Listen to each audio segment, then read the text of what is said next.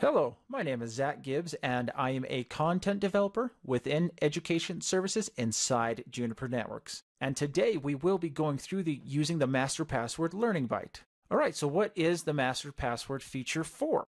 Well, it's all about hardening shared secrets. So currently, without this feature, shared secrets in Junos are in the dollar sign nine dollar sign format, and it uses an obfuscation algorithm to hide the password. And this is going to be shared secrets such as a radius password, IKE, pre-shared keys, and other things. As you might know, you can take one of these passwords from one SRX device or one Junos device and decrypt it on a different, completely unrelated Junos device. And that's that's not a good thing. So we want to avoid that. We can use the master password that uses the dollar sign eight dollar sign format, and it uses an AES 256 GCM algorithm to encrypt configuration secrets and the master password is not saved as a part of the configuration. And the example on the slide shows that the master password is being used as input to the PBKDF2 function to generate an encryption key. This key is then used as the input for the AES 256 GCM algorithm. Then at the bottom of the slide, this shows that the plain text that the user enters is processed by the encryption algorithm with key to produce the encrypted ciphertext. All right, so we do need to talk about the TPM module. And so what is this? TPM module is used to bind secrets. And TPM stands for Trusted Platform Module.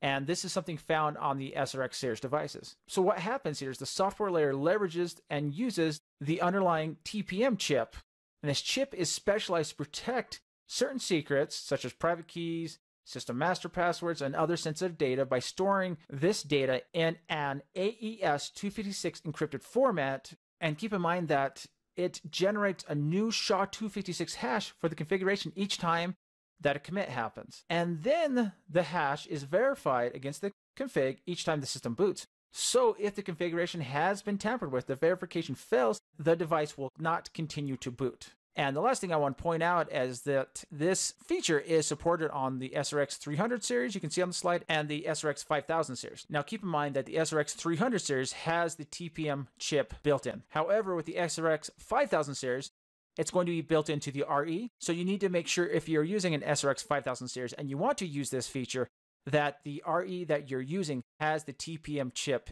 in it. All right, so here is our example, and we have a few different devices in this example. We have SRX1, which is the device we will be configuring, and then we have an IPsec peer and a radius server. Now, with the IPsec peer, there's a shared password that we'll see in IKE, and with the radius server, there's also a shared password. And those passwords are currently hmm. stored in the dollar sign $9 format, and we want to change that so they're stored in the dollar sign $8 format.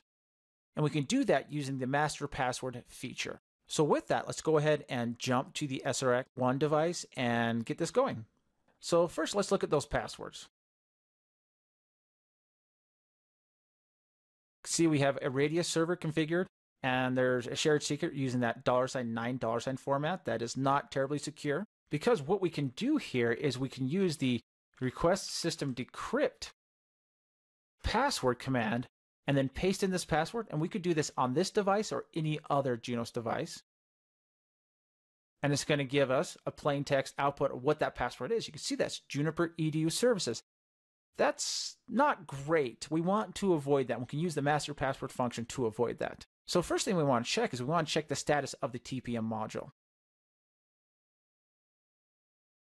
And we can see that it is currently enabled and there's already a master password created. And that's because I already have it running on this device, but we can change the password and it would be very similar if we were setting it up from the ground up. So to change the password or to set a new password, you need to issue the request security TPM master password set plain text command. And then here it's prompting me to enter the current password. That's because I already have a password. And if you didn't have this configured, then it would just prompt you to create a new password.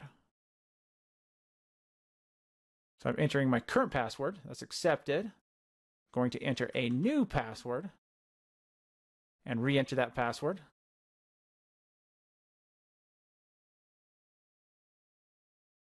And we can see here we get some output that shows us that there was binding of the password to the TPM module and that the master encryption password is bound to it and successfully generated and saved TPM encrypted hash of config file and encrypted key pair files. And so, great. That's what we want to see. So we've created it. The next thing we need to do is we need to set it in the configuration. Set system master password. And it wants us to enter the master password here. So this is the password that we just created. I'm going to enter that. And then it wants to repeat the password. And it gives us some interesting warnings. First tells us that our Radius server password is weak and it recommends that we should make that stronger.